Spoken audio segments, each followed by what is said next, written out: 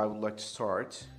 For the lower jaw surgery, we have three guide points, so three surgeries.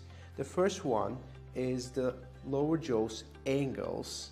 So angle reduction uh, or elevation or corner shave would be available for this area. But in general, the mean would be uh, jaw reduction and the term uh, would need to call, according to my experience, as a jaw recontouring.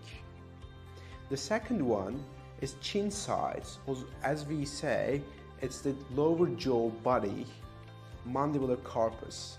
So we are doing lower edge shaving or narrowing for this part. It's so-called chin side reduction or chin sharpening or chin recontouring.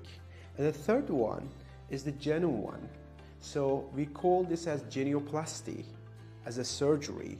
So it would be able to do um, lower jaws, uh, genomes, vertical reduction, elongation, augmentation or sliding advancement, even setback is available.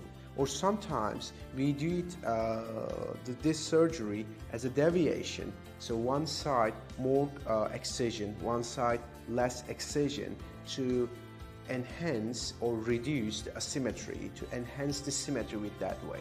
So genioplasty uh, is uh, would be able to elongate, reduce the vertical length, or advance or set back the chin.